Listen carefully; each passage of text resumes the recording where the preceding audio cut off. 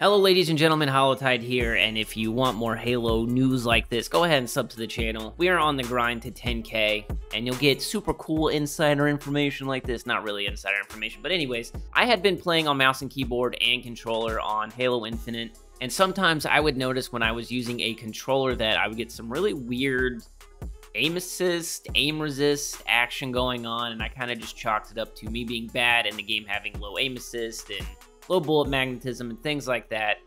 But the more I looked into it, the more and more I found people kind of complaining about the same issue.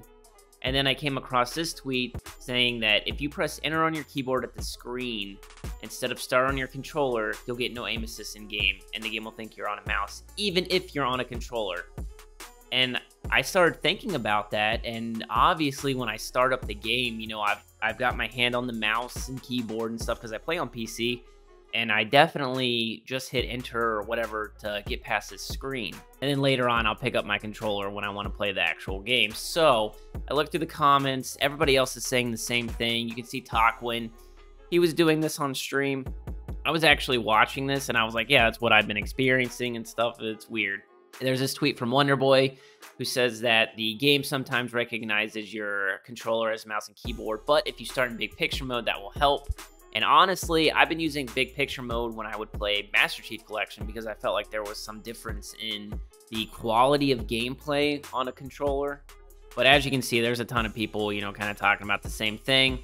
So, so if you want to open up big picture mode, all you got to do is go to Steam. Up in the top right, there's big picture mode. Voila.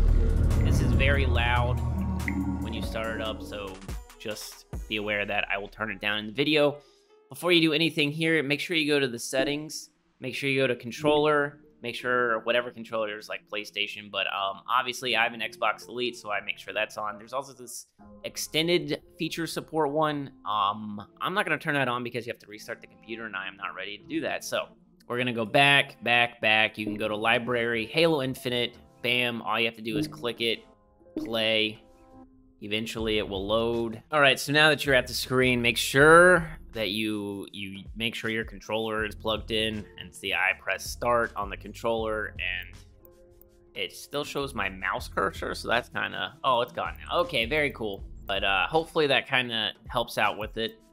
I don't know if I'm gonna keep this in the video but I'm gonna do a little round using the BR all right let's see what happens.